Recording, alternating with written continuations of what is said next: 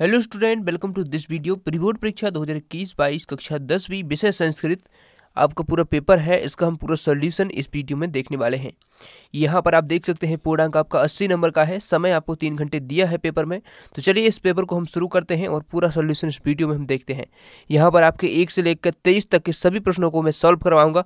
तो चलिए वीडियो को शुरू करते हैं। यहाँ पर देखते हैं, आपके यहाँ पर उचित विकल्प चित्त तो यहाँ पर पहला प्रश्न है। तो मैंने फ्रंट पेज आपका दिखा दिया है पेपर का, इसी प्रकार से आपका यही पेपर है।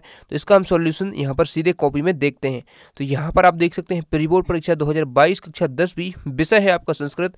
यहाँ पर आपका प्रश्न क्रमांक एक है, जिसका आंसर कुछ इस प्रकार से है। प्रश्न क्रमांक एक के उत्तर आपको लिखना है तो जो आपके सही विकल्प आपको दिए गए हैं तो इसमें पहले का आंसर हो जाएगा बा वाला ऑप्शन, यानी कि कत्वा। ठीक है, दूसरे का आंसर हो जाएगा सा वाला ऑप्शन, यानी कृत। तीसरे का हो जाएगा लेप ठीक है तो यहाँ पर ये आपके आंसर हो गए। आगे बढ़ते हैं, अगला प्रश्न आपका दिया गया है, जिसके आंसर इस प्रकार से आपको लिख लेना है। बिल्कुल सही आंसर है, बहुत ही अच्छे से इसको क्वेश्चन को देखकर उसके आंसर मैंने ढूंढकर इसमें लिखे हैं। प्रश्न क्रमांक दो। देखिए, इसमें प्रश्न क्रमांक दो का जो आंसर है, इस प्रकार से है। पहले का ये हो जाएगा, दूसरे को हो जाएगा नेत्रम, तीसरे का कोमला, चौथे को हो जाएगा विपन्नम और पाँचवें का विद्याधनम। उसके बाद छठे क्वेश्चन का आंसर हो जाएगा गहन कानने। अगला प्रश्न है,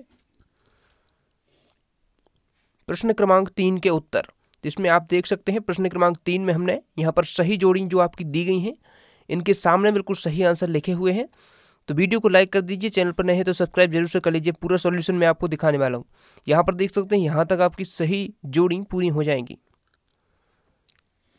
प्रश्न क्रमांक चार में है, पहले का आंसर हो जाएगा, गमिष्यतः हसंती, पठ और अपठी, अपठीयम, ठीक है? उसके बाद तत्र और पचसी, ये आपके आंसर हो जाएँगे प्रश्न क्रमांक चार के, ठीक है? अब पाँचवें प्रश्न के आंसर हम देखते हैं। प्रश्न क्रमांक पाँच है आपके पेपर का। इसमें आम और ना आपको बताया है। मतलब आम और ना आपको बताना है इसमें से। तो आपको जो वाक्य दिए गए हैं, उनमें देखिए, पहले का हो जाएगा आम, सेकेंड का हो जाएगा ना, थर्ड का हो जाएगा आम, फोर्थ का ना, और फिफ्थ का हो जाएगा आपका आम, और सिक्स का आपका आम हो जाएगा। छठवां जो प्रश्न है आपका इस प्रकार से है, इसका आंसर हम देखते हैं। बहुत ही अच्छी तरीके से आपको लिखना है आपकी कॉपी में ताकि आपका कोई भी नंबर नहीं कटे, आपका एक भी नंबर नहीं कटे। इसी प्रकार से आप कॉपी लिखेंगे, एक भी नंबर नहीं कटेगा। प्रश्न क्रमांक छः का उत्तर देखिए। यहाँ पर इस प्रकार से हो जाएगा। सातवें का उत्तर इस प्रकार से आपको कर लेना है।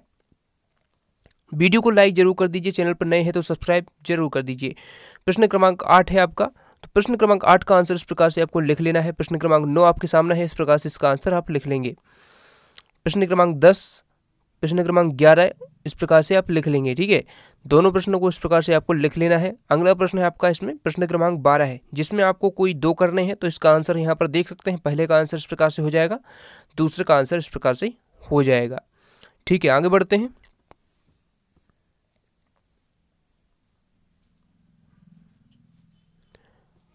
प्रश्न क्रमांक तेरह का उत्तर देखिए। प्रश्न क्रमांक तेरह में आपको कोई दो कर रहे हैं तो जिसमें से हमने कर दिया है, पहला वाला देख सकते हैं, काका बन राजा। उसके बाद गजह काका। ठीक है तो ये आपका तेरहवें का आंसर हो जाएगा। प्रश्न क्रमांक चौदह का देखिए। यहाँ पर आपका इसका आंसर, पहले का आंसर इस प्रकार से हो जाएगा, दूसरा आंसर आप लिख लेंगे। ठीक है, यहाँ पर आपको प्रश्न का निर्माण करना था। तो यहाँ पर आपको देखिए, एक ध्यान में रखना है, यहाँ पर क्वेश्चन मार्क लगाना है। यहाँ पर एक मिस्टेक्स हो गया, यहाँ पर क्वेश्चन मार्क आपको लगाना है। ठीक है तो यहाँ पर आप क्वेश्चन मार्क लगाएँगे।